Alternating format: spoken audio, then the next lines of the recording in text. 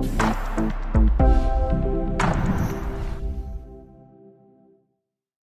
everyone, how are you doing today? I'm here with a different uh, laptop. Today we have an Dell XPS laptop. This is a two-in-one laptop as the screen on this one they actually rotate 360 degrees so you can use it as a laptop or a tablet so it's kind of pretty cool neat feature that they have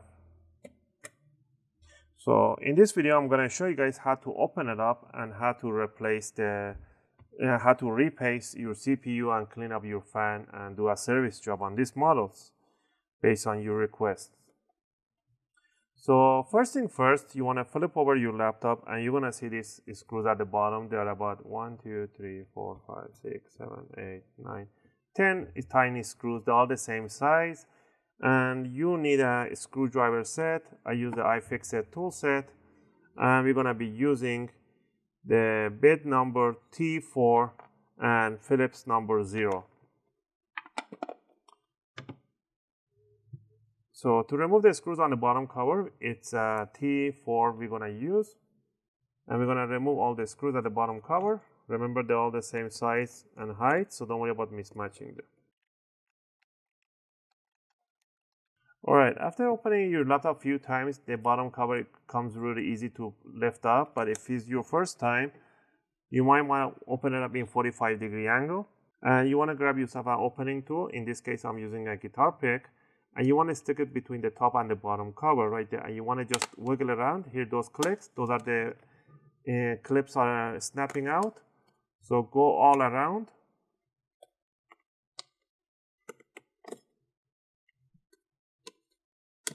All the way to the back to the other side.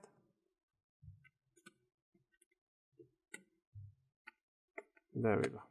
Now once it's loosened up a little bit you're to close it back down. And you want to lift up from the where the power jack is. So you want to lift up from this side don't lift it up from the power on button. So power jack side hold it down from the hinge and pull this side up. Or do it the front end and then just go ahead and try to lift up the cover. And there we go. Lift up from this side and then slide it toward the power on button. Because you don't want to yank it up otherwise you're going to break this power on button right here. All right? So this is the bottom cover. You can go ahead and do use a toothbrush a new one or an old one and you can go ahead and clean up all the dust that they have in here this is the intake right there so clean up all the intake and clean up the whole base and the rest all right down here everything is really simple First thing first, you want to remove the or disconnect the battery cable from the board just by pulling this plug backward. There. Once you pull it backward, the jack will come out. Next, we're going to switch back to our Phillips screw head. We are going to remove one, two, three, four screws in here on the heatsink. The screws have a C-lock on them so they will not come out. You just have to loose them up. Once you remove that in there, also we need to remove the bridge right here. So grab this flip flap thing right here and just pull it up. The same thing right here. This is the connector connects this board to this board. And we're gonna remove this one and this screw right here. That's the fan screw. This screw, they do not have a C-lock on them, so just remove them completely. Now we're gonna grab the heatsink and we're gonna pull it out and you're gonna see all this dust that is in there. Okay, so this is what we, we need to clean up all this. So what we do, we're gonna grab our working towel, place it nearby, uh, so we don't you're gonna grab a tweezers and remove all this excess of the dust in there you're gonna lift up the this untangle the cable for the BIOS remove the fan right there just by unhooking the jack. Try not to pull on the cable too hard. I'll try to do it from here. There. Okay. Now we're gonna lift it up. What we're gonna do to clean up the fan we need to remove one two screws right there. These are tiny screws. Once you remove the screws you can just go ahead and you cannot lift up this one because there's a, this copper you have to lift up with your fingernail backward there are clips. The clip over here and now you can lift it up. And sometimes the fan comes out. In this case the fan is not coming out. That's fine.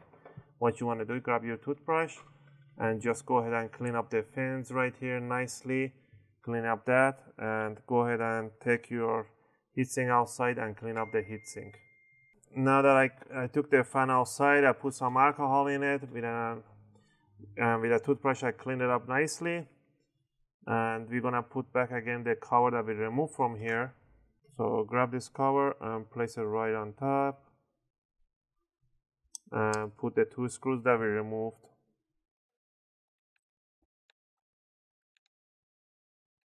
Alright, now that we put the screw in here, so we have the fan cleaned up nicely.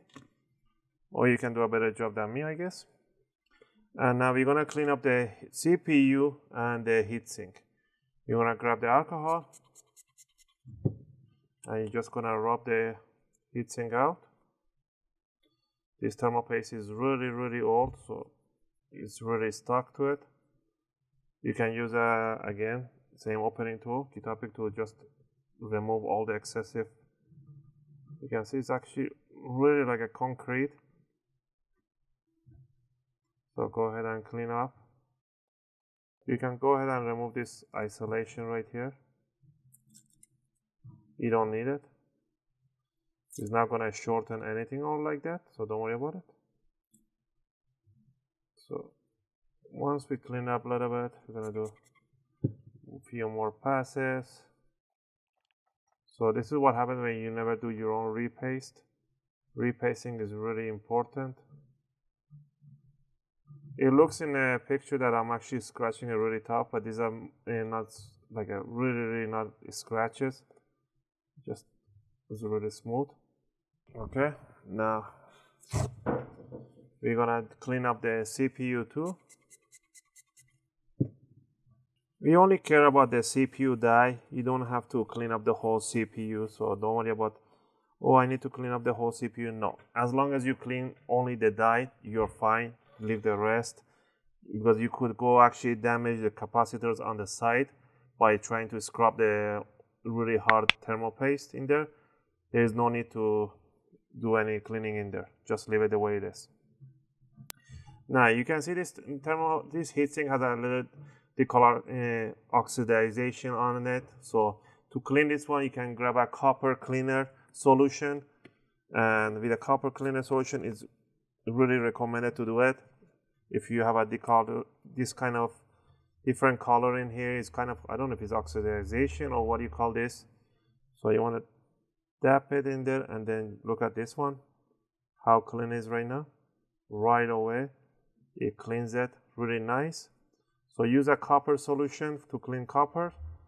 And with this one, you're gonna have a better contact for your heatsink. And next, that will be you need to grab your thermal paste. I use a different type of thermal paste. If you can get a Kryonaut Grizzly thermal paste, these are the really best thermal paste. The Kryonaut depends the client. My client is asking for MX4 because he doesn't want to pay extra premium. But the Kryonaut Thermal Grizzly is the highest one I really recommend for these laptops. So pretty much you're gonna grab your thermal paste and you do a tiny line right on the CPU. Just like that. Okay. And what you wanna do first, you wanna plug in the fan cable right there. slide it all the way in. run the cable for the BIOS place the fan right there and put the two screws that you removed for the fan first. But once you put down the heatsink you don't want to lift it up. If you lift it up you're gonna create lots of bubbles in between the thermal paste. So once you go put it down try not to lift it up again. Now we're gonna bring down the heatsink straight down. And if you pay attention they have a numbered one two three and four on the heatsink uh, you can go either by one two three four or you can start anywhere else. Do one two three four. Pretty much you have to do a cross screw them. So hold it from the middle and go from let's go what they say here. One the number two then three and four. There. Now we have the heatsink in there nice and clean. You're gonna grab the bridge cable right here make sure the contacts are clean. Clean up the contact. There's no dust in there.